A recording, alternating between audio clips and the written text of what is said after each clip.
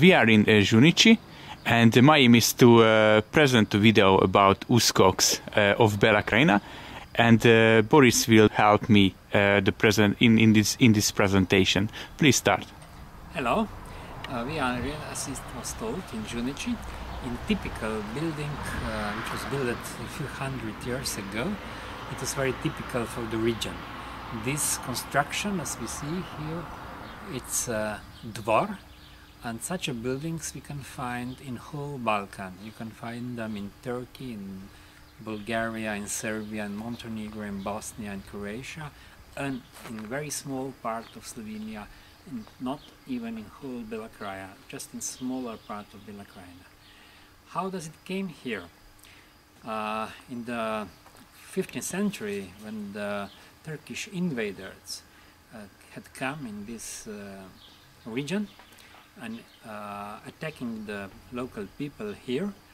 Uh, most of the people in this region between Kolpa and major town Črnomelj here were more or less either killed or taken as slaves to the Istanbul, younger people, younger boys as uh, future soldiers, Yanichar called, uh, others for other workers. Uh, minority of the uh, previous uh, citizens uh, try uh, succeeded to escape, but most of the of the villages here were empty. In next 200 years, the newcomers came to the region. They were called Uskok. It mm, word Uskok it, it means something like jump to. It means the Uskok is the person who escaped against the Turkish invaders uh, from different uh, countries of the Balkan and tr uh, try to live peacefully in this uh, Austrian uh, monarchy territory. The Uskoks which were coming were at least two kind, we would say. One of them were refugees which escaped to survive, and others were brought um, by the purpose. It means the landlords took some people under the Turkish uh, invasion territories to bring them to be the professional soldiers for the castles which they were built in that time. And such uh, dvor uh, was uh, built that way to uh, help the family living here to survive. Actually, it's uh, like small fortress, as you see. It is built by the wood, that is true, uh, but still it was very good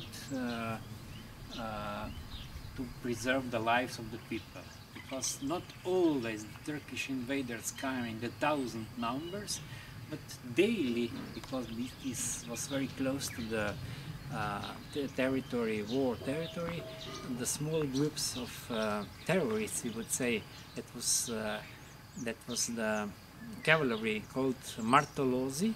that They were something like uh, paid invaders by the Turkish army, and they disturbed the life of the people here on the border. So such a fortress uh, helped them to survive smaller groups of invaders. Uh, so the people, the Uskoks, um, the, some of them got the land here and became the workers for the landlords. Uh, but the most of the Uskoks, they were invited as soldiers and they were free people. They didn't pay any taxes, they didn't pay any customs, they didn't work for the church or the landlord. They were professional soldiers and whenever needed they were invited uh, they were called not invited to fight against the Turks. But they supposed to do that by their own money. They supposed to have the weapon. They must come with the horse and so on. It is replique of course. But the Uskoks was different for the other citizens in Bela Krajina.